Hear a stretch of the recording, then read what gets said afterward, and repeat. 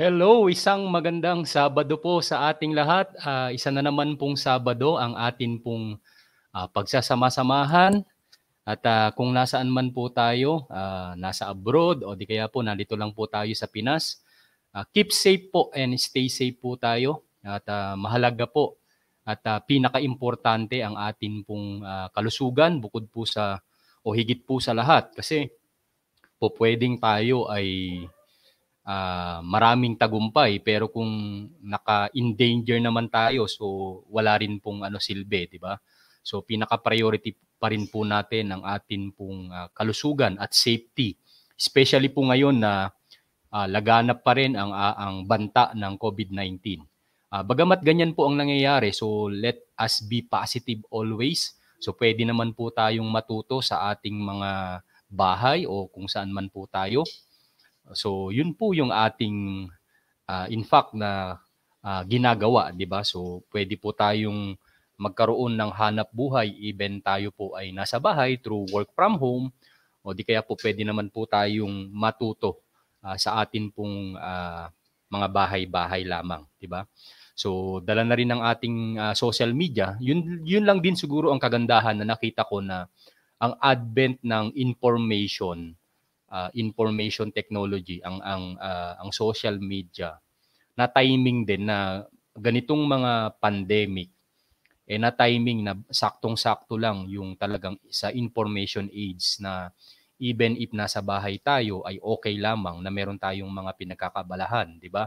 So unlike siguro kung nangyari ito na wala pang internet o maybe wala pang cellphone, eh medyo mas mahirap yata yung ganung kalagayan, di ba? So anyway, ang pag-uusapan po natin ngayon, uh, bukod sa Q&A, uh, bagamat na didiscuss ko na rin ito from time to time sa atin pong mga video, uh, yung loan amount based sa iyong salary.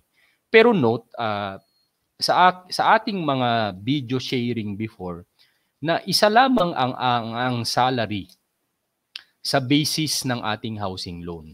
Especially kung tayo po ay mag-a-avail sa isang private or old property na wala pang nakaset uh, na loan amount, 'di ba? Palagi naman nating sinasabi, dalawang klase lang ang ating pag-avail ng property. Either bibili ka ng bagong property o di kaya po lumang property. At pag bibili tayo ng lumang property at i-housing loan natin, either pag-ibig or bangko, wala pang initial na evaluation yan pagdating sa magkano ba ang ipapa ang pwedeng ipautang ng pag-ibig or bangko. So i-evaluate bukod sa iyong salary eh doon sa appraised value ng property at merong mga tinatawag na loan to collateral value na merong certain percentage lamang na pwedeng ipaloan ang pag-ibig or bangko. Pwedeng 1090, pwedeng 2080, meaning to say, yung 10% equity down payment o di kaya yung 20% ay equity down payment at yung balance ang ipapaloan nila, di ba?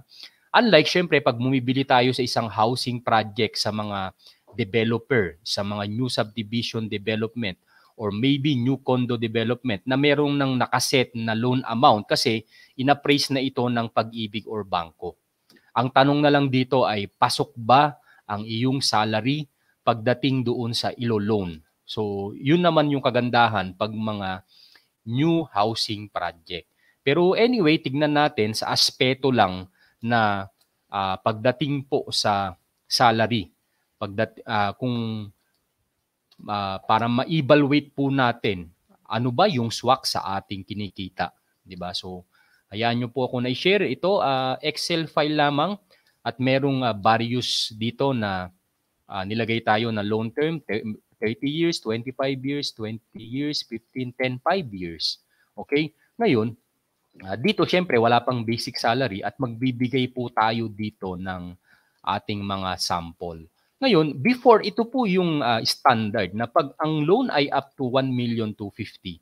I'm not sure kung ito ay 1.7 na, kung nataasan na ba tong ceiling na to. I think parang nataasan na yata. Pero anyway, sa concept lamang para maintindihan natin, 35% ang usual na ginagamit pag below 1 to 50 dati. At ito, i-verify ko pa kung nata tumaas yung ceiling. 35%. Pero pag above 1.25M, 30% yung ginagamit na basis. So meaning to say, yung ating sweldo, yung ating sweldo, halimbawa, ilagay natin, uh, uh, let's say, kumikita ka ng 30,000. Okay? So, meaning to say, maximum lang ng 35% ng sweldo mo, kung pag-ibig ay basic salary, yung kapasidad mong mag-avail ay up to 10,500 lang na monthly maximum. So meaning to say, halimbawa, bata-bata ka pa, kaya mo pa ng uh, ah, 30 years kung below 40 years old ka at the time ng processing ng housing loan at bata-bata ka pa. Meaning to say, hanggang 10,500 lang yung maximum capacity mo ng monthly amortization. So kung maghahanap ka ng property, kung maghahanap ka ng property, ang hahanapin mo yung property na may monthly amortization na 10,500 and below. 10,500 and below. Kaya palagi mong tanong kung ikaw mag, maghahanap, magkano ba yung monthly amortization niyan?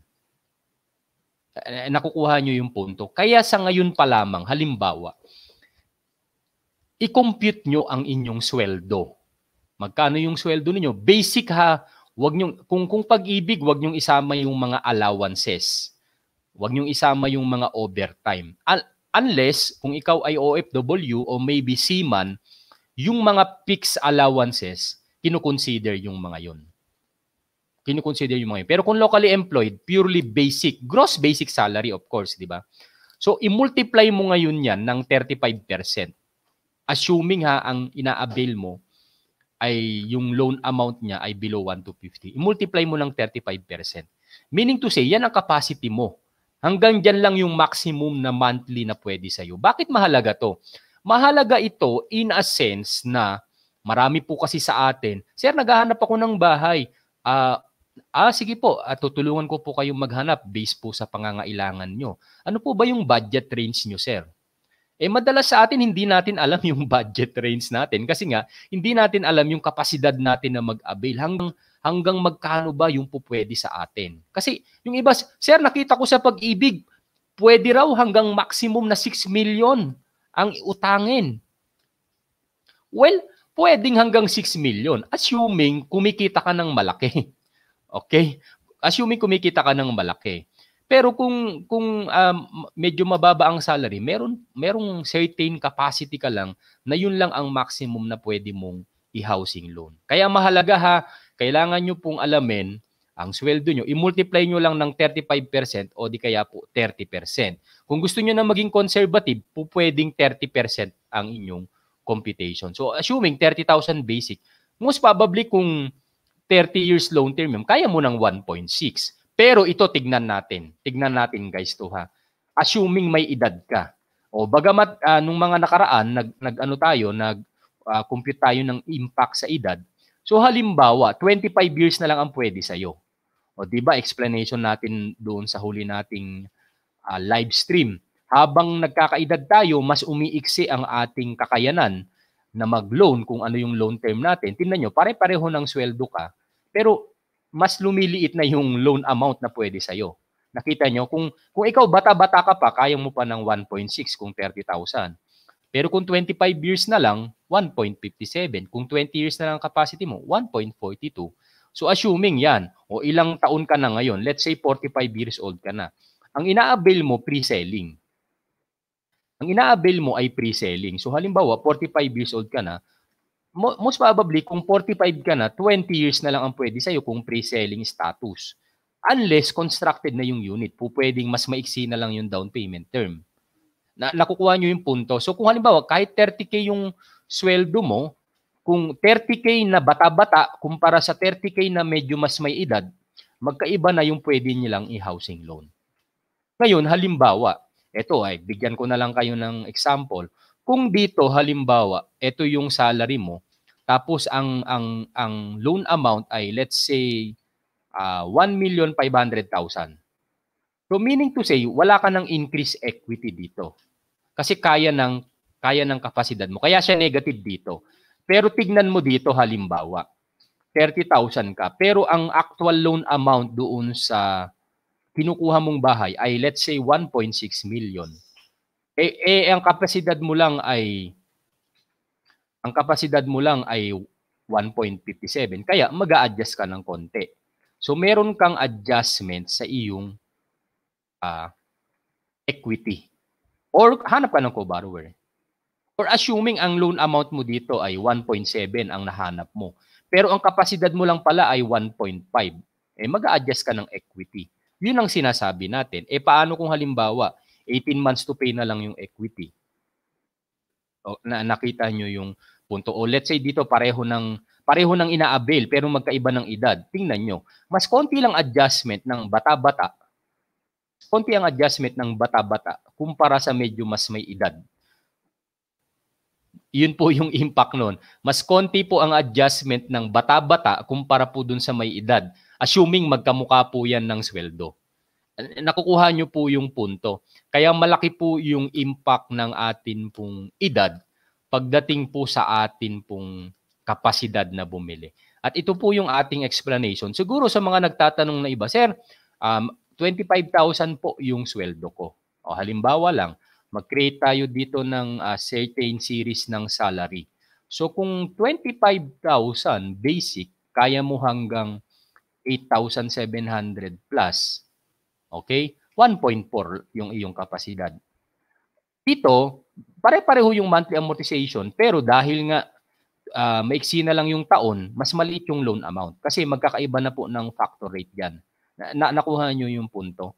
8750 sa 25 years, 8750 sa 30 years. Magkaiba po 'yon. Okay? Kaya halimbawa, eh, disregard na muna natin tong mga amount sa price list. So assuming 1.4 ang kaya mo kung 25k ka. Kung bata-bata ka pa, below 40 years old ka, pero kung above, tingnan mo baka 25 years na lang yung kapasidad mo. Para malaman mo kung ilang years, 70 minus mo yung current age mo, i-minus mo kung uh, ilan yung down payment terms, ilang taon ba yon mong babayaran yung down, tapos mag-less ka ng one year pa kasi para sa waiting period. Yun yung gawin mo. Okay? And then, uh, let's say, paano kung 20,000 na lang yung sweldo? Magkano na lang yung kapasidad? 20,000, more or less 1.1 M. 1.1M yung kapasidad mo. Nakukuha nyo yung punto. So, pwede nyo screenshot kung nandito ang range po. Alam mo, 40,000. Medyo mas malaki. Nasa 2 million ang po pwede. Diba? Kung 30 years pa ang pasok sa'yo. Eh kung 6 million, magkano kaya pag 6 million ang pwede mong i-loan? O, halimbawa, 100,000 ang sweldo mo. Eh ito, gamitin na natin 30% kasi malaki na po yan. O more or less po, uh, 4.8 million kung 100,000 ang sweldo mo. Kung 120,000, 5.7. So kung kung 6 million ang maximum mo, siguro sumusweldo ka ng 125,000. Ayan. Kaya mo ng 6 million. So meaning to say, hindi yan automatic na 6 million ang kapasidad mo. So yung sumusweldo ka dapat ng 125,000. Eh, ang mga sumusweldo na ganyan, medyo mas may edad na. So malamang dito na sila yan sa 20, 20 15 years lang kasi may edad na sila. So mag-sample po tayo dito. Tingnan natin sa uh, ah, 20 years na lang. Kasi kung 25,000 ay 125 o tinan mo kung 125,000 sa 25 years. Okay. Ah, hindi, hindi. Uh, ah, 30% to dapat. Ba't ka ako mas malaki? 30% yan. O tingnan nyo, mas maliit na yung kapasidad. So kung 20 years na lang, dahil may, usually ang matataas naman ng sweldo ay uh, may edad na. So siguro mga 140,000 yung sweldo, uh, 150. O, sumusweldo ka dapat ng 150 para pwede sa iyo ang 6 million. Uh, nakukuha nyo yung punto natin. Eh kung 50,000 ang sweldo mo, let's say 50,000 ang sweldo na, sweldo mo, yan, kung kung kaya bata-bata ka pa, kaya mo ng 2.4. Pero kung uh, mga 40 plus ka na, 2.2. O kung 45 above ka na, 2 million. Kung 15 years na lang, maybe nasa 50 years old ka na ngayon, 1.7. So, yan yung ating kapasidad. Ngayon, kung ano yung kapasidad mo dito, i-compare lang yan sa loan amount. Halimbawa, ang loan amount ay 2 million. Wala kang adjustment sa equity. Ibig sabihin, pasok ka. Pero kung halimbawa, 2.5 million ang ang loan amount ng inabil mong bahay, magkakaroon ka ng adjustment sa equity. Uh, yun yung ating punto pagdating po dito. So anyway, yan po, ganyan, ganyan po natin ina-assess yung atin pong mga client. Especially kung halimbawa, may mga nagtatanong po sa atin, Sir, uh, ito po ang uh, ito po ang computation. Okay, halimbawa may client tayo. Ang ang general po kasi ang ang binibigay po natin na computation, ang binibigay ng developer na computation ay yung maximum na loan term. So halimbawa, 30 years loan term yon. Tapos ganito po yung monthly, ganito po yung required salary. Eh para po yun sa 30 years, eh kung mas may edad ka na, iba yung makukompute. Kaya yung iba nagtataka, Sir, akala ko ba, ano lang yan, 20k lang yung monthly basic salary dyan. Eh bakit sir, iba yung computation? Kasi nga, mas may edad ka na, eh sa 20 years ka na, na pala pwede. Iba na yung computation doon ng required salary na, nakukuha nyo po yung puntong. Kung qualified ka, walang mababago doon sa equity down. Ang mababago lang yung monthly mo, lalaki dahil 20 years mo na lang siyang babayaran. Pero, kung mas mababa yung salary mo compared sa required salary, eh mas mataas yung magkakaroon ka ng adjustment sa equity. Magkakaroon ka ng adjustment sa down payment. Okay? Kaya ganun yan. Kung mas mababa lagi niyo pong itatanong halimbawa uh, assuming hindi po ako yung kinuha nyong broker o hindi po sa parte ng team ko yung kinuha ninyo? Tapos nagtatanong kayo sa ahente o may mga kinausap kayo na ahente doon sa mga project na pinag-abela ninyo. Tatanungin niyo ah magkano ba yung monthly diyan magkano ba yung required salary? Ay yan ba yung sa 30 years? O, tapos pwede mo bang pa-compute ilang taon na lang yung po pwede sa akin? Tapos uh, kung sakali uh, ano kaya ano ba yung option na o kung halimbawa magi-increase equity ako, pa-compute naman. Baka kakayanin ko naman kung ganin diyan kataas yung equity na adjustment dahil sa edad ko or maghanap ako ng co-borrower. Po pwedeng ganun. Pero madalas po, madalas po ha, madalas po sa mga ahente o without offense po sa mga ahente, hindi marunong mag-compute ng increase equity ng adjustment. Bibigyan ka lang nila ng computation na, Sir, ito po yung 30 years. Pwede mo ba akong bigyan ng 15 years? Hirap na hirap yung mga ahente. Yan po yung realidad. Hindi, hindi po marunong mag-compute. Siguro mas blessed lang po ako kasi accountant ako. Tapos uh, tayo naman ay biniyayaan pagdating sa mathematics. Hindi ko naman po hindi ko naman po binubuhat yung bangko ko pero elementary high school ay best in math po tayo palagi kaya Uh, ito po yung advantage ko pagdating po sa numbers. Kaya pag sa aking mga client, kaya ko talagang mag ano, magbigay sa kanila ng ganitong computation kasi nga accountant ako tapos uh, yun, uh, pagdating sa numbers eh pinag uh, biniles din tayo ni God pagdating po sa mga numero at uh, yan at profession din po talaga natin talaga yung mga numero. Kaya mas madali lang po para sa akin yung uh, mga recomputation. Bagamat estimate lamang kasi may mga consideration po dyan ng insurance, uh, yung mga appraised value na hawak na po yan, uh, ang may control na po dyan ay yung pag-ibig or bangko, yun lang, yun, yun lang yung mga senaryo. Pero yung mga basic naman, kaya po nating computein na pwede tayong makapagbigay ng estimate sa client, at least hindi po malayo, at least aware po sila pagdating doon. Okay po, okay po tayo sa topic na to. Anyway, okay. Uh, hmm, stop sharing ko na po yan. Okay, meron po kaming update. Pagdating sa reopen unit sa Sonoma Residences, meron pong 22 units. Okay? Ano lang po ito? Uh, update lang po. May 22 units po na reopen sa Sonoma Extension constructed units.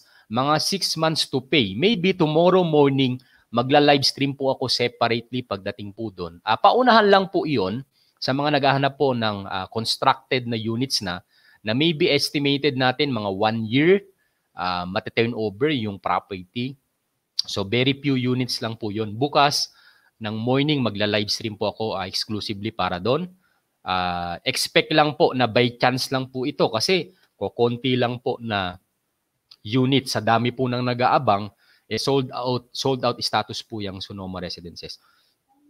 Okay po. So anyway, yan po ang ating uh, first part ng atin pong sharing. I hope may natutunan po kayo ha.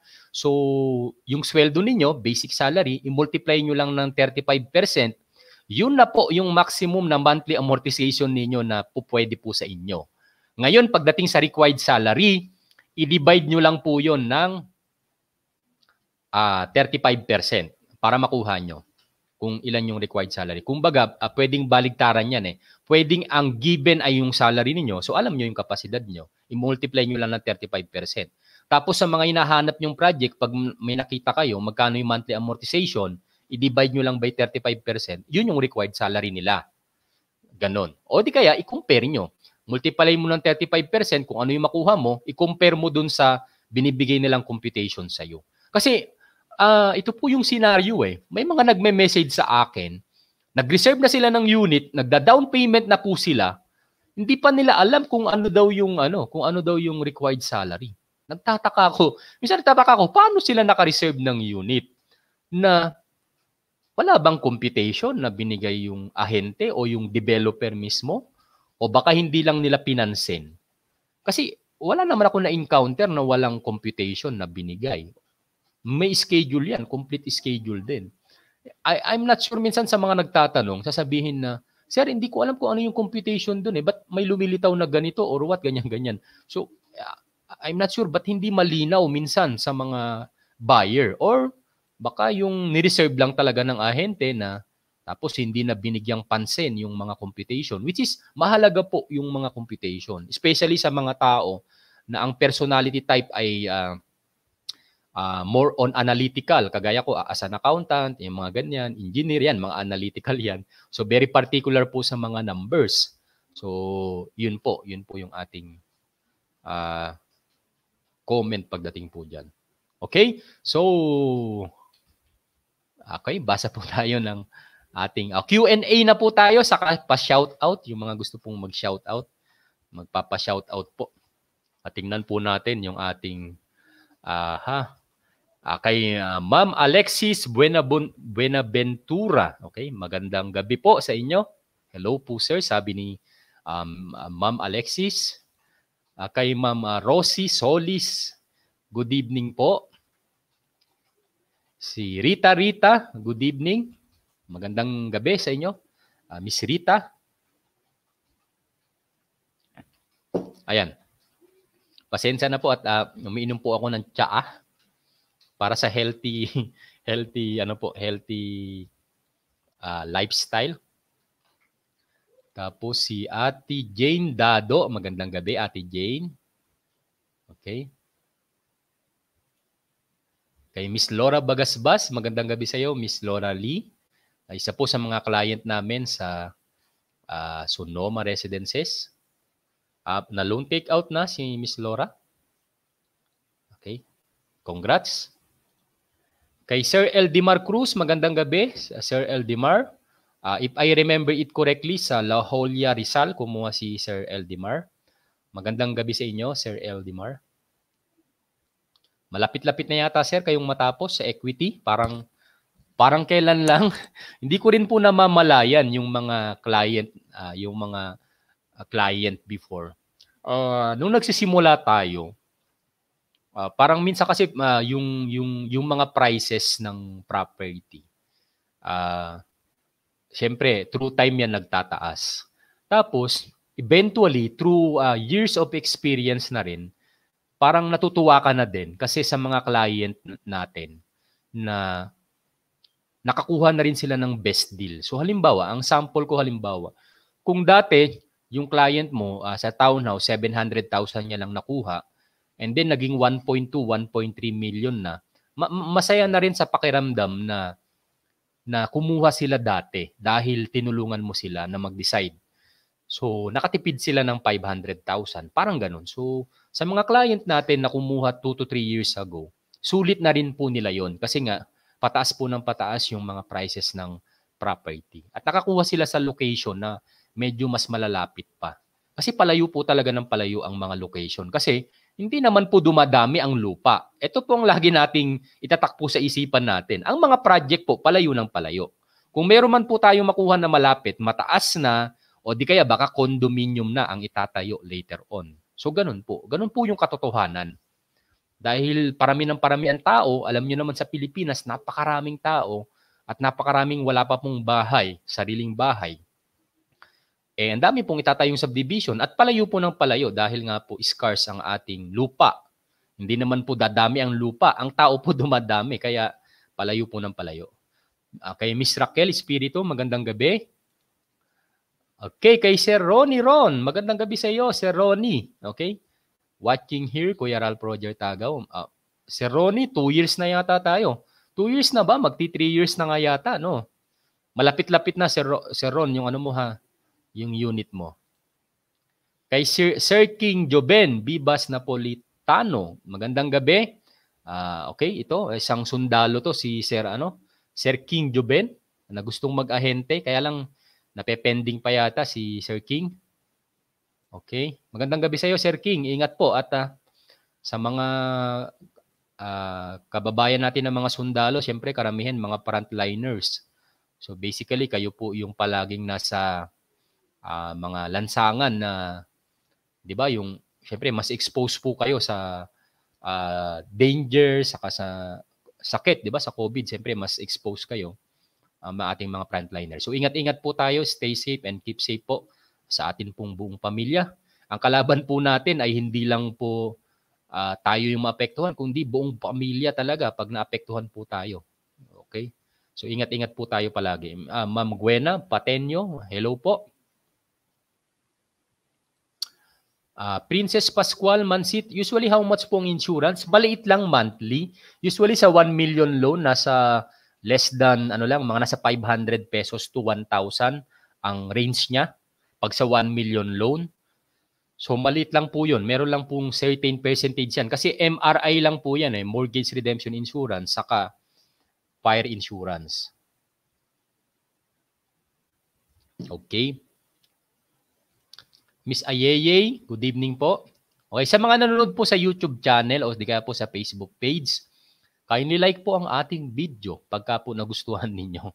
Okay, don't forget to like po para po sa YouTube algorithm na rin. Uh, pagka kasi marami din pong nagla-like o maybe nag-share, pinapakita po yan ni YouTube sa iba pa pong tao. So, sa mga tao na, which is marami po, na hindi po nakakaalam sa ating pong mga ginagawa, na mga uh, maybe uh, wannabe na first time home buyer, eh yun po, uh, at least kung makita man po nila to, uh, yung opportunity na pwede po silang manood at magtanong at matuto pagdating po sa pagbili ng property.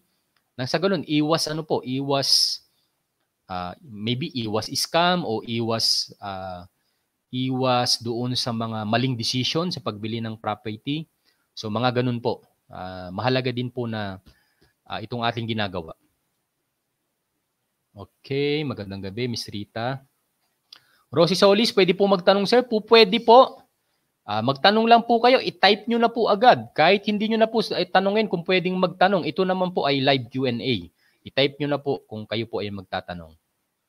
Okay, Rita Rita. Sir, yung nakuha ko, 1.15 pre-selling tapos na down payment ko. Ang tanong ko, pag bank financing, magkano kaya ang monthly ko? 32 years old, OFW, 45K income. Ah, Miss Rita, supposed to be, meron ka ng computation para dito kung nakakuha ka na. Kinumputan ka na dapat. Ano bang klaseng financing mo? Pag-ibig ba? O bang fin- Regardless kung bank or pag-ibig, meron ka na dapat computation nito. Meron ka na dapat computation nito. At nakikita ko naman, 1,150 lang naman yan, pasok po yan sa income ninyo. 1,150. So, kung 1,150 ang loan mo, eh, 1,150. O mga 7K lang po yan.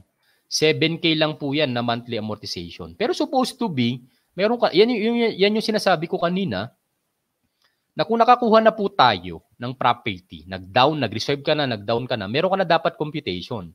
Dapat malinaw na po yan sa inyo. Meron na dapat kayong uh, details amount, magkano yung reservation, magkano yung equity, at magkano yung monthly mo, at magkano yung required salary mo. Reservation pa lang po yan, meron na po dapat. Pero kung 1150 yung loan amount, I'm not sure kung loan amount po yung sinasabi ninyo, 7K monthly po usually yan. Pasok naman kayo sa maximum 30 years kasi 30 years old pa lang kayo. Okay? So, yon. O, 4 months na lang pala. Napakabilis ng panahon, sir, no? Akala natin dati, eh, matagal yung 3 years, 2 to 3 years. So, mabilis lang po yun. OFW po ako, bakit po need po ng agent ko ang valid ID ng employer ko? Pag mag-send ako ng employment contract, bakit po hinihingi pa po nila? Hindi po hinihingi ang valid ID ng employer. Valid ID po ng representative na ina-assign. Pag OFW, yung representative, baka naman representative ang tinutukoy ng ahente. Hindi po kailangan ng valid ID ng employer. Hindi po yan ibibigay ng employer. Ang ang employer po job contract po ninyo. Tapos email address. Usually yun pag OFW, kakailanganin po ng email address ng employer kasi magsisend po yan si Pag-ibig o si Bangko ng confirmation o ito ba ay empleyado ninyo itong employee na to tapos magre-respond back, back magre-respond back lang dapat ang employer. Hindi po kailangan ng valid ID ng employer. I-clarify nyo sa ahente nyo ng kausap, baka naman valid ID ng representative ko ang tinutukoy mo, agent. Yun ang tanongin nyo. Okay? Yun po. Handali nga po para... Okay, pakita ko nga yung mga requirements. Andali lang ma'am ha. Diniscuss ko na po yan eh. Mm-hmm. Okay. Nung nakaraan, diniscuss na po natin yan, yung mga requirements. Okay? Wala po akong natatanda ang requirements na valid ID ng employer. Okay? Andali, share ko po sa inyo yung although nag nag ano na po tayo last last week po nito eh. Okay? O, tingnan niyo na lang yung requirements.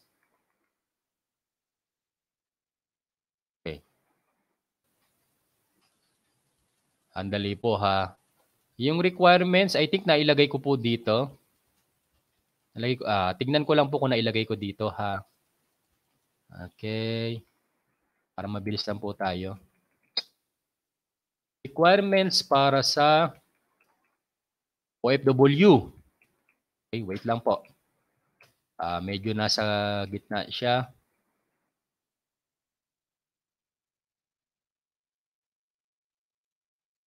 Ay, hindi. sorry, sorry, sorry. Hindi po pala dito. Sa isang file ko po pala. Sorry, sorry.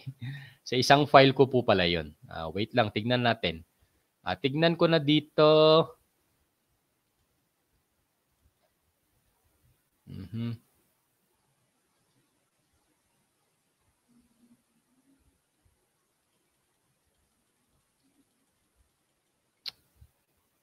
Nagtataka ako doon sa sinabi ninyo.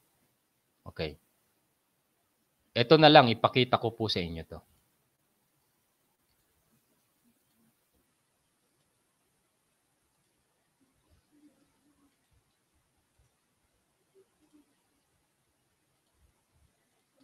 Ito nakikita nyo po ba to? O, ayan. Uh, ang requirements, latest copy ng uh, job contract, okay? All pages, copy ng passport with signatures, signatures, residence ID, working visa or uh, residence permit, latest proof of billing address niya sa Pilipinas, birth certificate kung single, uh, marriage contract, kung siya po ay married, TIN ID, ITR TIN verified from BIR, pag-ibig summary of contribution, two valid IDs ng spouse, one by one ID, special power of attorney, two valid IDs of representative. Two valid IDs of representative. Yan po, ma'am.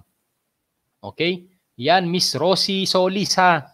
Ma'am ha, sabihan mo yung ahente mo, saan mo ba nakuha yan? Ba't kailangan pa ng valid ID ng employer? Baka valid ID ng representative. Yun po ang sa, itanong nyo sa ahente ninyo.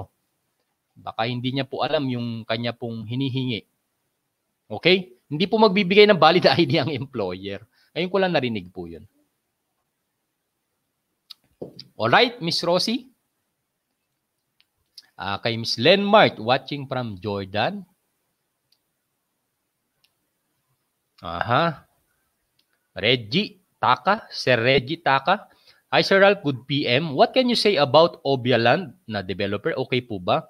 Ngayon ko lang po narinig ang Obyaland. Saan ba yan, sir? Obyaland. Parang ngayon ko lang po narinig yung developer na yan. Baka po sa ibang panig ng Pilipinas. Okay? Kasi parang dito po kasi kami sa Bulacan and Manila before. So parang ngayon ko lang po narinig ang Obia Land na developer. Okay, search ko siguro mamaya. hindi wala hindi po ako makapag-comment, di ko po alam, ngayon ko lang narinig. I-search niyo din po, i-search niyo din. Tignan niyo rin po yung kanilang mga uh, previous project kung meron na, na po ba sila para makita po ninyo. Si Miss Jen Naraga, good evening po sir, God bless po, magandang gabi sa inyo. Okay, kay Sir ano din, Eldimar din pala to, okay? May ibang account si Sir Eldimar. Marbs Pasco, good evening Sir Al, pa-shoutout po, watching from Hong Kong, God bless po. Okay? Magandang gabi sa inyo.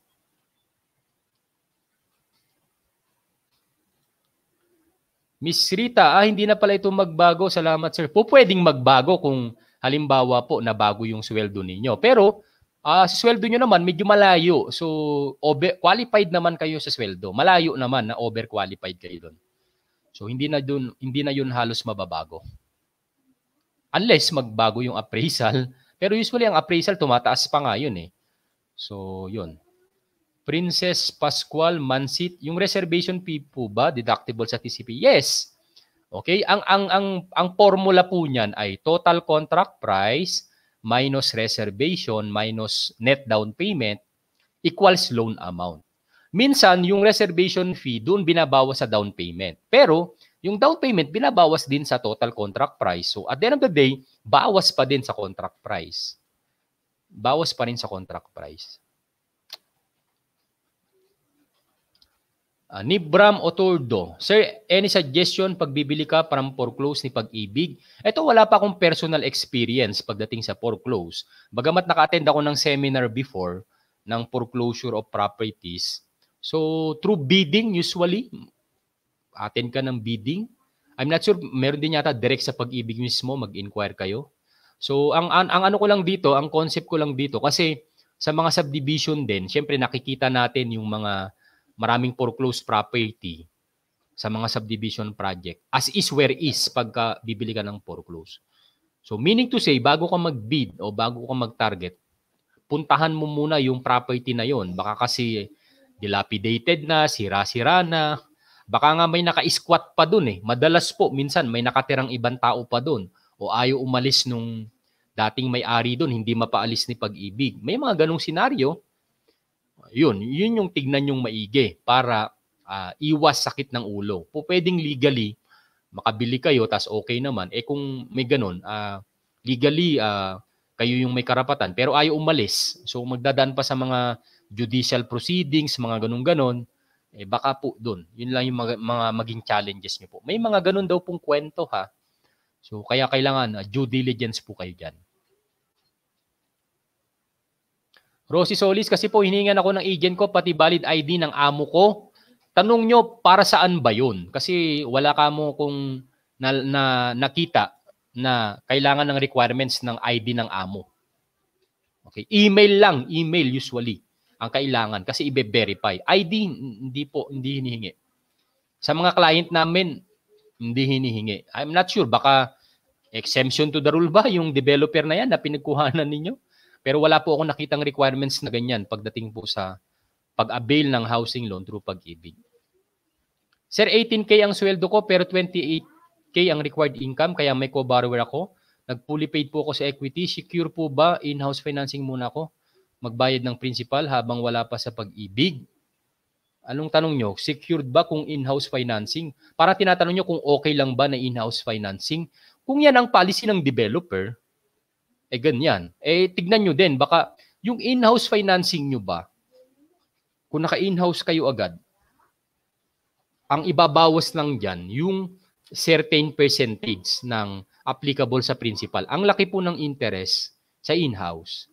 So malit lang po mababawas. Diyan minsan talo ang mga home buyer pagka ang polisiya ng developer ay after equity, after equity, i-in-house muna sila habang hinihintay yung pag-ibig or habang hinihintay yung bank, naka-in-house muna. Talo, talo talaga ang buyer doon. Honestly sa akin ha, talo talaga yung buyer doon sa sa assessment na yun. Kasi mapupunta sa interest, hindi ka pa nga nakatira sa bahay mo eh. Okay? Meron din naman continuous payment sa ibang developer. Tapos yung monthly naman, na sobra mo later on, either ibabawas sa loan o iriripan sa'yo. May mga ganun ding developer. Pero the best ang mga developer na after mo ng equity, stop payment. Yun ang the best talaga. Pahinga ka muna sa bayad. 'Di ba? Kasi uh, nagbabayad ka na ng loan mo tapos hindi pa naman uh, natira na, na, na-approve talaga yung loan. So, tignan din ng mga home buyer. Uh, ako, particular ako diyan sa mga numbers nga sa computation na pag ganun, tinitignan ko rin kung ano ba yung mas okay dun sa buyer. Kaya lang, kung policy ng developer yon at ganun yung policy niya, tapos halimbawa sa akin, eh medyo pa, para hindi okay ako dun as a seller, as a broker, hindi ko binebenta yung ganung developer pag pagka ganun. Unless talagang sobrang saleable nun, na tingin ko naman ay uh, ma, ma-outweigh ang benefit kumpara dun sa magiging cost ng ng ng ng kliyente. Yung mga ganun. Pero yan, medyo mabigat talaga, no? After equity, in-house ka habang wala pa yung pag-ibig. Medyo mabigat po talaga yun. Especially ngayong pandemic. Imagine niyo continuous payment ka after equity. 'di ba? Tapos in-house financing ka na habang wala pa yung pag pag-ibig approval. Eh pandemic, one year na ganun. Eh di ang laki ng binabayaran mo monthly. So medyo doon ka dihado. Kaya nga, bago pa lang po kayo mag-avail o mag-reserve ng property, alam niyo na lahat. Ano ba yung polisiya ng developer diyan after ng equity? Kaya ako, kaya kung kung ako yung iyong kukunin na broker, bagamat marami akong ahente din na tin, ginaguide din natin sila. Kung ako yung kukunin mo, uh, kahit gustong-gusto mo na mag-reserve, sasabihin ko sa iyo, ipapaliwanag ko pa sa iyo, Sir, ganito po ha, hanggang sa makalipat ka. Ipapaliwanag kong buong buo sa iyo yung, yung, yung kalakaran para aware na aware ka. 'Di ba? Kaya lang sa, sa atin, excited tayo madalas na kumukuha tayo ng property. Parang ang, ang thinking natin, hanggang doon sa reservation lang muna. Tapos mabibigla na lang tayo, magugulat na lang tayo later on. Papalapit na yung patapos yung down payment nabibigla na tayo. 'Di ba? So, importante rin na malaman talaga natin yung mga ins and outs nung sa ating pagbili ng property. And then meron din tayong mga nakakapanood ng video natin. I'm not ano din, I'm not saying din na na uh, siguro yung scenario na nagpapasalamat din sila na nakapanood ng ating video. Pero eventually, uh, nakita nila yung project na binebenta natin, pero hindi sila sa atin kumuha. May mga ganun din na, na kliyente. Uh, yung mga senaryo halimbawa na 2 hours, 3 hours kang na-delay, na hindi mo nakita o hindi mo pa na-check sa messenger or sa text na delay ka, tapos kumuha na sila sa iba. Uh, yun. Uh, tapos nag-apura. And then later on, yung pinagkuhanan pala nila, bumalik din sila, nagtanong na, Sir, ganito, hindi kasi ako binabalikan ng ahente ko, ganyan-ganyan, na ganun-ganon. Tapos hindi naman pinaliwanag po sa akin mabuti. Kasi yung panahon na yon na yung kliyente na yon yung ay niya lang ay dun sa reservation. Na hindi siya masyadong, hindi na niya masyadong pinakailaman yung iba pang pasikot-sikot ng pagbili ng property. Tapos, uh, may mga senaryo tayo dyan na, na parang nagalit pa sila kasi sabi sabi natin minsan, 'di ba pagka ikaw yung kausap nila, alam mo, nagtanong sa iyo initially o di kaya follower mo sila, tapos sa iba sila kumuha ng property. And then bumalik sila sa iyo para magtanong naman. Kumbaga parang ang ginawa nila, hindi sa iyo nga kumuha, gusto pa nila sa iyo pa magtanong ulit. 'Di ba parang hindi ko naman sinasabi na parang unfair, unfair 'yon na Which is talagang unfair naman kung tutuusin mo yun. Di ba? Kausap ka nila, ganyan-ganyan. Pinaliwanagan mo sila, pinanood nila yung mga videos mo. And then alam naman nila na yung project na yung binebenta mo rin, hindi pa ikaw yung ano nila, hindi pa ikaw yung kinuha nila, sa iba sila kumuha. And then nung may problema na, nanghihingi sila ng advice sa iyo. Tapos nung halimbawa, ma'am, baka pwede nyong kausapin yung ahente nyo kasi responsibility na po nila yan as a matter of fact, eh, hindi naman po kayo sa akin kumuha. Sa iba naman po kayo kumuha. Tapos yung iba nagagalit pa sila. Ba't daw ano, parang suplado kang mag, ano, magsasagot, ganyan-ganyan. Pero bakit sila, di ba? Parang, hindi mo nga ako pinaniwalaan, hindi ka nga kumuha sa akin, sa iba ka nga kumuha eh. Tapos ngayon babalik ka para magtanong-tanong, humingi ng advice. And then pagsasabihin ko na magpatulong kayo sa ahente ninyo, eh kayo pa yung parang nagagalit sa akin. Eh, 'Di ba? As a matter of fact, parang alam mo sa sarili mo hindi hindi ka sa akin kumuha, sa iba ka kumuha, which is supposed to be hindi ka na dapat ano, mag magtatanong pa ulit dahil uh, pa, I'm not sure palabra de honor ba ang tawag doon. Ay, nakakahiya naman. Hindi ako sa kanya kumuha. Tapos sa kanya pa ako hingi ngayon ng advice. Tapos sa kanya pa ako hingi ulit ng ano. Tapos panonoodin ko pa yung mga video niya para lang matuto. Kasi yung ahente ko parang wala namang kalam-alam.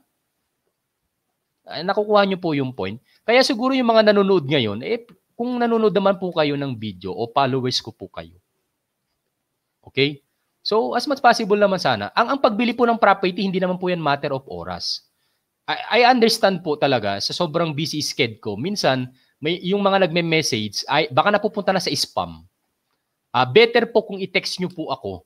I-text nyo po ako sa number ko. Kasi nga, ang friends ko po sa FB nasa 4,900 plus. Mag, mag, mag, mag, ano na po ako, mama-maximum na po ako sa 5K. Ang friend request ko po, 1,000 plus. Eh, ang pwede ko nila i-accommodate ay nasa mga 50 or 70. Less than 100 people na lang ang pwede kong i-accept as friends. Pero 1,000 po ang friend request sa akin sa FB. Ngayon, napansin ko lang, sabi nila, may nagte-text sa akin, Sir, nag-message ako sa iyo. Pero parang hindi mo pa yata nakita. Pero ako, chinek ko na lahat yung mga message request. Wala naman ako nakita. And then I found out uh, na, halimbawa, uh, Sir, sir ma'am, ano po ba yung ano nyo, FB nyo? I-search ko po, tapos ako po magtingin. Tapos pag kinek ko sa mess yung ano niya, yung kinek ko yung profile, tapos message niya, meron nga siyang message. Meaning to say, napunta sa siguro sa, sa mga spam-spam na na hindi ko na makita-kita kasi nga natabunan na ng maraming message ano, message request. So better yet, alimbawa, mag ano, mag-text sa akin o di kaya mag-comment sa YouTube or ano. So, so yun talaga ang best, yung mag-text or tumawag doon sa phone. And then kung nag-message man kayo, uh, makikita ko. Unless sa fan page ko kayo, meron kasi akong fan page din na Ral Roger Tagaw, RRCT. Yun, makikita doon.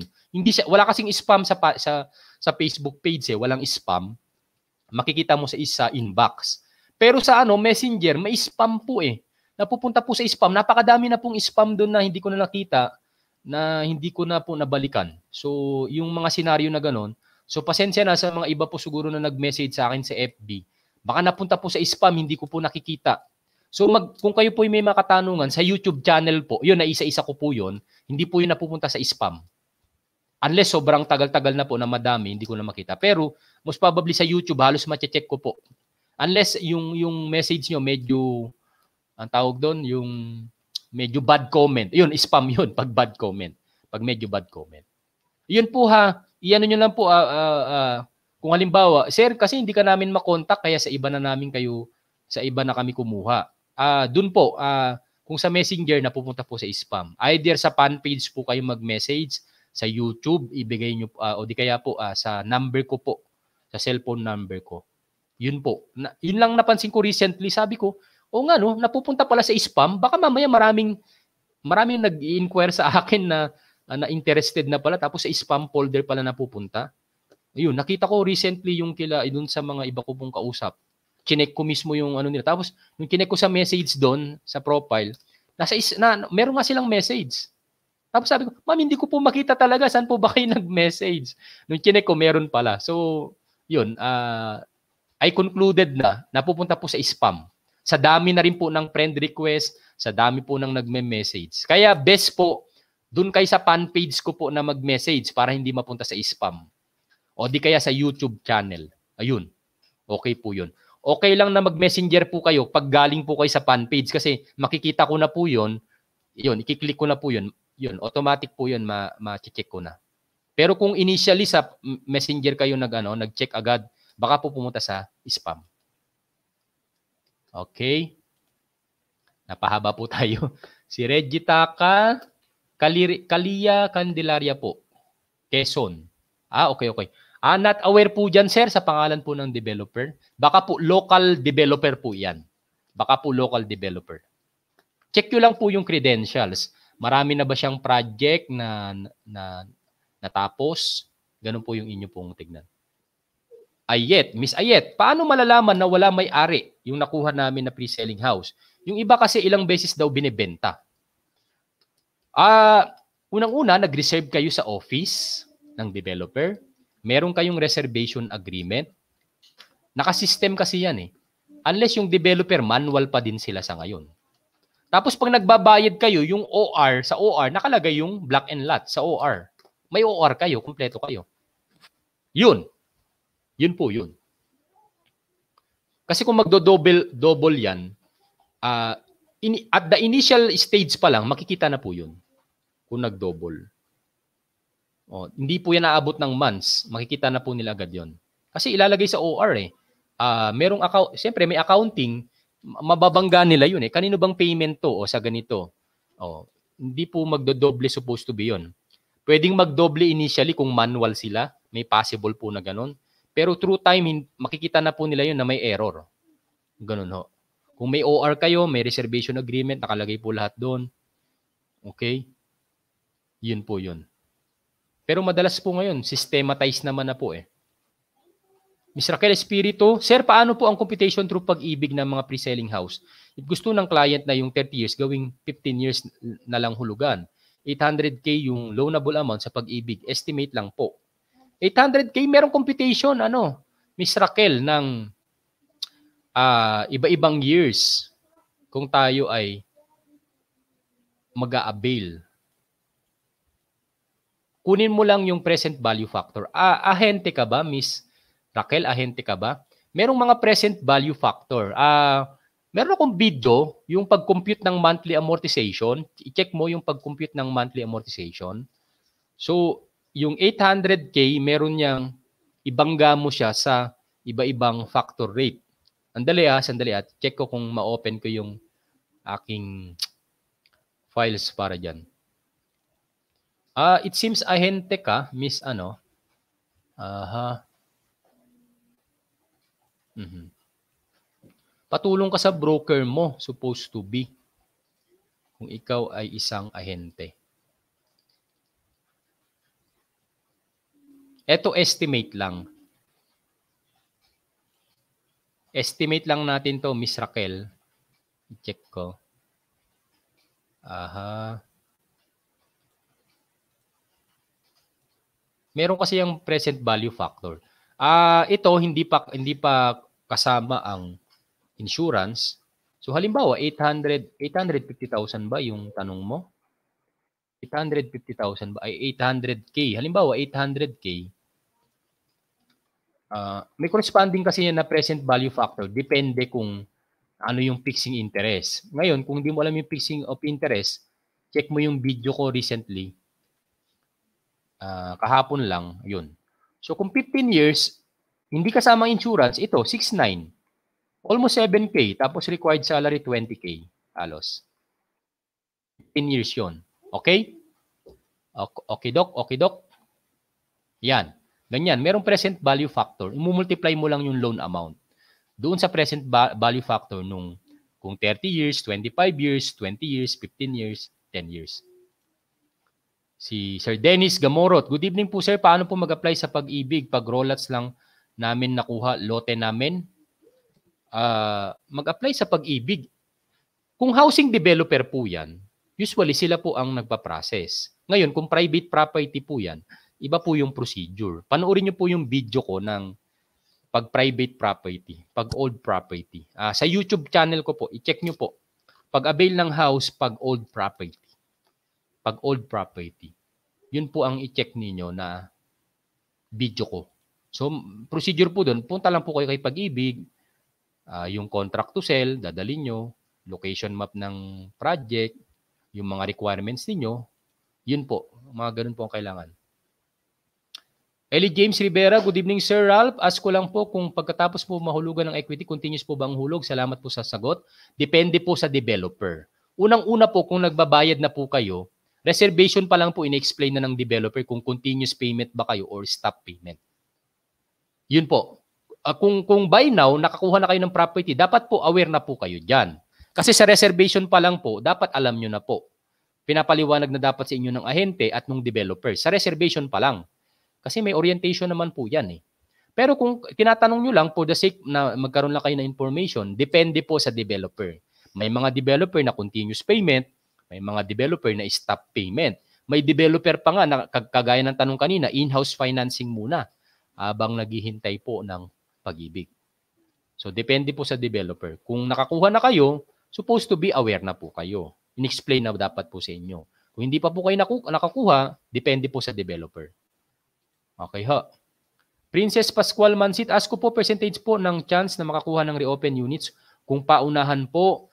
Ah, wala pong certain percentage. Paunahan po yan. Online reservation po tayo. Sa online reservation, kung sino po yung unang makapindot, so imagine nyo po, halimbawa, 22 units. Kung ang nag-aabang na ahente para sa kanilang buyer ay 200 buyers, eh, di ba, dun siguro natin i-divide, di ba? 22 units divided by 200, 10% chance. Ganun po.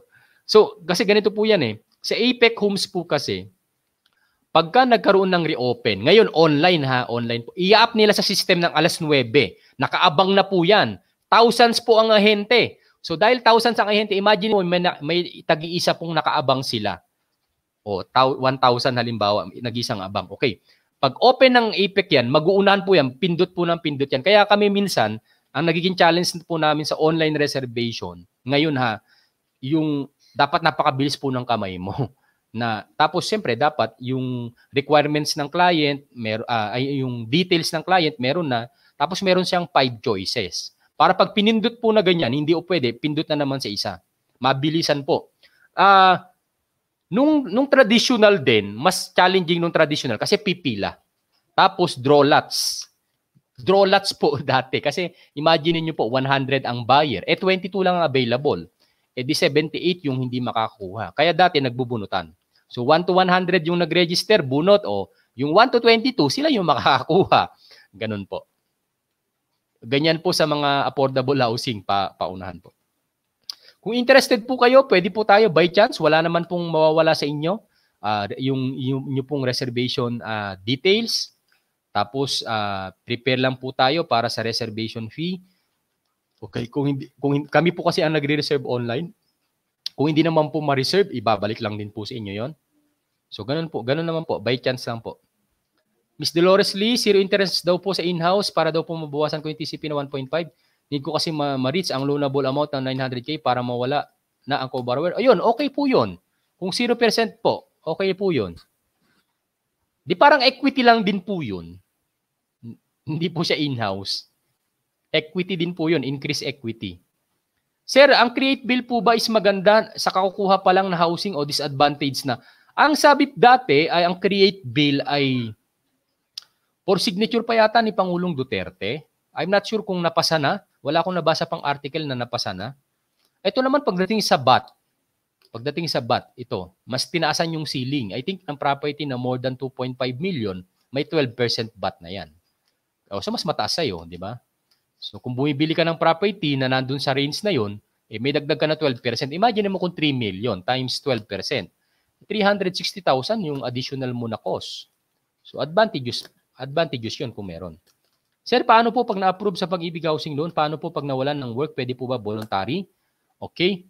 Unang-una, hindi po kayo ipaprocess sa pag-ibig pag wala po kayong work. Ganito po yan. Pag po kayo ay nag-avail tapos yung panoorin niyo po yung aking ano ha, aking video ng proseso ha, assuming aware na po kayo doon. After ng down payment, may waiting period and then ipaprocess na po sa pag-ibig. Ang bago po i-process sa pag-ibig, tatawagan po kayo ng developer. Mag-update po kayo ng requirements. Magko-comply ulit kayo ng requirements. Kung nawalan po kayo ng trabaho, meaning to say, hindi kayo makakapag-comply ng requirements. Mapepending lang po yan sa developer. Hindi po nila yan ipo-forward sa pag-ibig.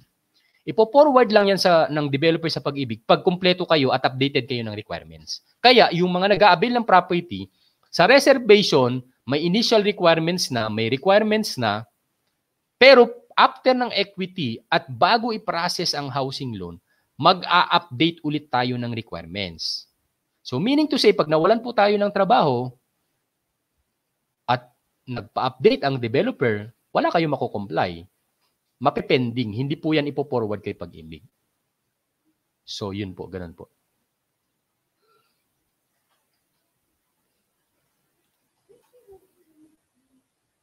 Ah, ha, true yan sir, yung tipong sumakit na ang lalamunan mo, ka-explain tapos napunta sa iba. Ah, parte yan ng ano, parte yan ng ng ah ng journey mo sa sa sales, hindi lang sa real estate. Lahat 'yan nararanasan ng mga kliyente at ra- lahat 'yan naranasan ng mga naging successful sa sa sales.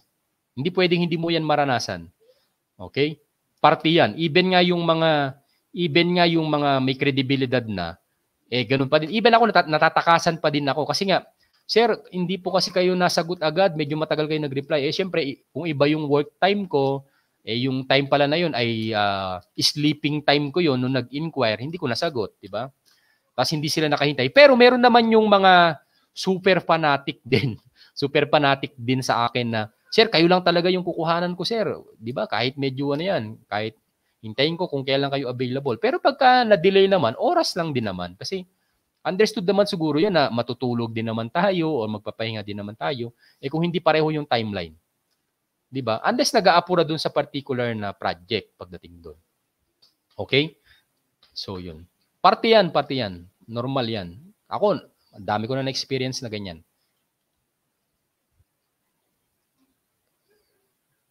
Kay Gonobo, ito, in-explain ko na, in-explain ko na sa iyo kanina, yung dati 2.5 million yung ceiling sa house and lot nung last year. Pero dati-dati pa yan, 31999 200 dati yan. 3,199,200. Tapos sa sa lot 21999 Tapos nung ano nagbago, naging 2.5 yung 3.31999 and then yung one uh, yung sa lote na 21999 naging 1.5. Yun yun. Tapos na iba sa create build na bago 4 4 million plus yata yung sa uh, house and lot. Wala pa naman, hindi ko pa naman nakita kung merong update yon. Hopefully, kung may, may update na, di maganda. Uh, kay Ma'am Virginia Fe Benito. Hi Sir Ralph, good evening po. Okay po ba Apex Homes? Thank you and God bless po. More power. Ang Apex Homes ay gaya din po ng ibang developer na hindi po perpektong developer. Kami po ay nakatira sa isang project ng Apex Homes dito po sa may Bukawi, Bulacan. So buyer din kami ng Apex Homes. And then meron din po kaming uh, investment sa Apex Homes sa project po sa Santa Maria, Bulacan. Meron po sa Pampanga at sa Tarlac. So meron pa kaming three investment puro Apex Homes. So meaning to say, apat na bahay po ang binili namin sa Apex Homes. So I'm not sure kung sasabihin ko ba sa inyo na okay ba ang Apex Homes pagdating doon. So by heart, eh, okay ako sa Apex Homes. Pero masasabi ko, hindi po perpekto na developer si Apex. Gaya po ng developer, gaya po ng tao na wala naman pong perpekto. So meron pong mga meron pong mga flaws, may mga challenges. So ganun po. Ako marami na akong hawak. Low cost housing, medyo medium cost housing, wala pong perpektong developer. Yun lang po ang masasabi ko. Kaya kung naghahanap po kayo ng mga perpektong developer, sa mga naghahanap po ng perpektong developer, wala po kayong mahahanap. Kaya yung iba sa yung iba na di-discourage, ay sir, may nabasa po akong ganito sa online. Ay, hindi po yata magandang bumili. Normal po, no, normal po na may mga reklamo kasi halimbawa sa mga dito na lang sa amin sa subdivision namin. Merong mga ibang reklamo ang ibang mga kliyente na sa amin hindi naman yun issue. So dahil magkakaibang tao, iba-iba yung mga ugali ng tao, yung iba problema na sa kanila yun, pero sa amin hindi naman problema sa amin yun. Like sa case halimbawa ng basura, Okay, okay naman yung sa basura. O sa cases ng isolated case na nagkaroon ng flooding. Eh, pero isolated lang naman. So parang once in 10 years lang naman. So, acceptable lang naman sa amin yun. Eh di, maglinis ka lang kasi alam mo naman na hindi naman yun araw-araw, hindi naman yun buwan-buwan. Parang once in a blue mo lang. Hindi, okay lang yun, acceptable lang yun. O kung meron namang uh, halimbawa sa subdivision na senaryo na may nanakawan na, na, na, na unit nanakawan kasi uh, walang nakatira, walang nagaano. Possible ba na may makapasok sa subdivision? Possible din. Even nga yung mga malalaking subdivision, di ba, napapasok din. So, tayo mismo, tayo din may control. Eh di gawin mo, mag-double ka na pinto, double lock ka, di ba? O di kaya may, may, may CCTV ka. So marami kang pwedeng gawin. So kumbaga, pwedeng issue, pero pwede naman palang solusyonan yung isang bagay na problema o concern o challenges. So ganun lang po. So wala pong perfectong developer. Nung una, nung una po na nagbebenta ako ng property sa iba-ibang developer, parang di parang sa simula, wala ka pang masyadong idea, akala mo perfecto yung yung subdivision, then later on nalalaman mo na ah may mga ganito rin palang issues. And then uh, until such time na na-realize ko, paglipat mo sa ibang mga ibang project o mga iba-ibang project, may mga issues din pala. Wala pong perfecto pala. Yun yun yung aking realization through nine years ko na sa real estate na wala pong perfectong developer. Gaya po ng walang perfectong tao. Di ba? Halimbawa tayo, sa boyfriend girlfriend akala mo perfect yung yung yung nakilala mo o naging boyfriend o girlfriend mo sa simula di ba pero through time may mga nakikita ka na sa kanya ng mga hindi maayos may mga attitude siya ganyan ganyan pero tapos o di kaya sa mga mag-asawa di ba parang okay before and then kung nag-asawa na kayo doon na lumilitaw pero ang ang ang thinking lang is hindi naman yung ihiwalayan mo or what kung hindi i-accept mo kung ano yung mga uh, yung mga yung mga bagay na kulang siya or or hindi maganda sa kanya, 'di ba? So yun acceptance and then okay naman pala, parang ganun. So yun yung ating uh, ganun ganun yung ating pananaw pag pagdating doon.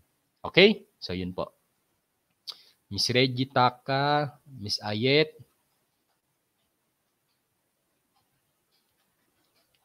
Sir, paano po pag nagkapag-reserve kayo ng unit paid?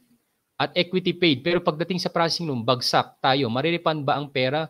Generally, non-refundable. Kaya pagka ano ganito, pag nag-reserve pa lang kayo, ini-evaluate na kayo. Ini-evaluate na kayo kung qualified ba kayo in terms of requirements, in terms of salary. No way na hindi kayo ma-approve kung makakomply naman kayo ng requirements at kung qualified naman ang sweldo ninyo. Unless may mga problema kayo like marital problem na hiwalay sa asawa, hindi nyo na pala mapapirma yung asawa nyo, hindi nyo naman dineclare, hindi nyo naman sinabi, po pwedeng ganun. O di kaya nung pagkakataon na nawalan kayo ng trabaho, ang mga developer naman, bibigyan kayo ng chance na maghanap ng trabaho later on. Mapipending lang yung application ninyo. Yun lang naman yung mga senaryo. O di kaya pinalsify nyo ang mga requirements ninyo. Ganun po. Pero kung kung makukomplay nyo yung requirements, qualified yung sweldo ninyo, which is sa case na yan, bago pa lang mag-reserve, eh, aware na dapat po kayo. Kaya even kami, halimbawa ako, may client, halimbawa sa akin kayo nag-inquire, Sir, ito po ang ating mga requirements, makukomply po ba natin ito? Ito po ang ating required salary, sir, okay po ba tayo dito? And then titignan ko, pas, pwede po bang pasend, sir, ito pong uh, sample payslip niyo para makita ko at ma-evaluate ko. Sa level pa lang ng agent o sa level pa lang ng agent at or broker, may evaluate na. In fact, ako may evaluate ko na agad. Sir, ito, ito yung mga requirements natin. Kaya nga tayo dito, nag, nagbibideo tayo, ito yung mga kailangan nating requirements. Para kayong mga home buyer o first time home buyer o nag-iisip pa lang na bumili ng property, aware na kayo sa mga requirements. Aware na kayo doon sa mga required salary. Kaya gaya kanina, yung ating uh, sharing ay magkano ang malulon based sa iyong salary. Alam mo na ngayon kung magkano yung pwede mong ilon. Ah, okay, ganun pala yung qualification ko. Ah, yun pala yung mga requirements. Check, check, check. Okay po pala. Yun yung, yun yung guarantee na ma- ma-approve ka. So, so yun. Yun, yun. yun po yung mga senaryo. Okay? Okay ho? May video po ko niyan. Ano, ano yung paano, paano mo masisigurado na ma-approve ka sa housing loan? Eh, yun na nga. Yung mga na-explain ko na yun. Alright? Okay, Sir AJ. Magandang uh, araw, Sir. Sir, kumusta? Kumusta na po? Kumusta na, Sir AJ? Raquel Espiritu, okay sir, what's good yung video, video nyo? Okay? Good luck sa iyo, uh, Miss Raquel ha, sa iyong karir bilang ahente. Right? How about 48 years old? Years old ba to, Miss Leslie? Pag 48 years old, uh, ah, 20 years, kung halimbawa constructed na yan, pwede pa kayo ng 20 years. Pwede ka pa ng 20 years uh, Miss Leslie uh, Allen. So 2.3, 48 years old, magkano maloloan? Hindi, 2.3, 2.3 na to, di ba? Yung, yung housing loan mo. So kung 2.3 ka, tapos uh, 20 years, oh, estimate lang natin dito para aware po kayo. 2.3 20 years o mga 17K monthly o 48 pasok, 48K. Ayan, nakita nyo po. Ah, uh, kung 20 years, 17K monthly, 48,000 dapat ang sweldo. Okay ho. Malinaw ho tayo dyan ha. Ayun. Alright. So at least dito, at least dito sinishare ko po pati yung computation nyo agad. Okay, naku. Nakakota na pala tayo sa one hour. Hindi ko na mamalayan. Okay, na, na, na ginaganahan tayo sa mga pagsagot. Okay. Sir, gaano katagal yung process ng papeles sa pag-ibig? Developer po ako kumuha. Panoorin nyo po yung yung video ko, yung proseso ng pag-avail sa pag-ibig para malaman nyo. Meron po yung waiting period pa. Check nyo po yung huli ko pong live stream, proseso ng pag-avail. From reservation, down payment, waiting period, saka pa lang po processing ng housing loan. Pacheck nyo na po kasi kung i-discuss ko po dito, eh, medyo matagal-tagal po yun, mahaba-haba po. Kailangan nyo makuha po yung concept nun.